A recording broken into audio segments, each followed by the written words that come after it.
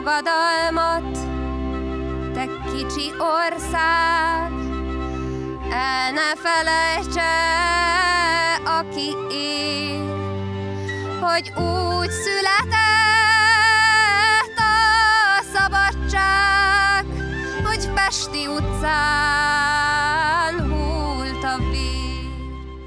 Szentgyörgybári Laura művésznő tolmácsolásában hangzott el Tamási Lajos Piros a vér a Pesti utcán című versének megzenésített változata az ünnepségen, ahol a város vezetője beszédében kiemelte, hogy a megtorlás és a pusztítás helyett a nagylelkű és nemes tettekre, a megoldásokat kereső párbeszédekre van szükség.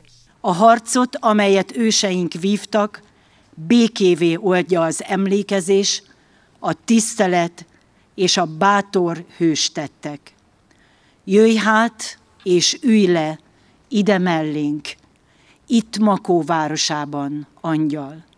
Letisztult lángolást adj, hogy el ne égjünk, hogy a béke eszközei lehessünk, a gyűlölet, a megosztottság, önzőség és a háború által szétszakadt világban. Lázár János arra hívta fel a jelenlévők figyelmét, hogy pártállástól függetlenül mindannyiunknak kötelessége elutasítani mindenféle megszállást. A másik gondolat, amit 56 kapcsán hangsúlyozni kell, hogy egy politikusnak a haza függetlenségének és önrendelkezési jogának a biztosítása kell, hogy az elsődleges célja legyen. Kihangsúlyozta, ha Kádár János nem árulja el az országot, akkor nem végeznek ki százakat, nem vetnek börtönökbe tízezreket, és a magyarok közül sokan nem kényszerülnek menekülésre. Nagyon fontosnak tartom azt, hogy ma minden honfitársunk lássa, értse, hogy kik azok, akik a hazaügyét szolgálják, és kik azok, akik akár keleti vagy nyugati megrendelésre, akár amerikai pénzből készek és képesek föláldozni ennek az országnak az ügyét. Makói választópolgárok, akik támogattak az elmúlt években, és akikkel közösen dolgozom a következő évtizedben, bizton számíthatnak arra, hogy én mindig azt az utat fogom követni, amelyben a legfontosabb ennek az országnak az önrendelkezése és szuverenitása.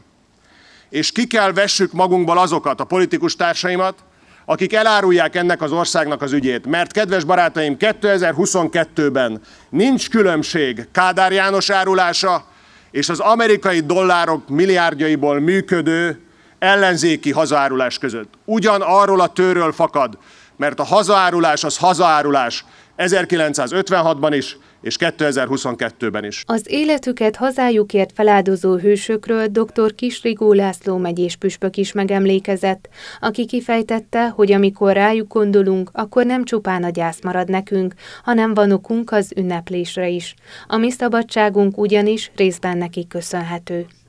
Vincenti Bíboros sírjára, akit nemrég itt Makón is ünnepeltünk, emlékeztünk rá, az a feliraton ráírva, hogy De Victus Vincit legyőzve győzött.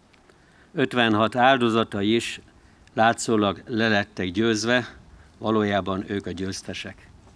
Az ő győzelmüknek örülhetünk mi is. A rendezvényen megjelentek, tiszteletük jeléjű virágokat és mécseseket helyeztek el a csanádvezértéri kopjafáknál, majd égőfákjákkal gyalogosan, lóháton és lovaskocsikkal közösen vonultak Makó belvárosában. Az ünnepség záró elemeként pedig az érdeklődők megtekinthették az Őrizd a Lángot című rockoperát Koltai Gábor rendezésében a Hagymaházban. Erről keddi híradónkban számolunk be önöknek részletesen.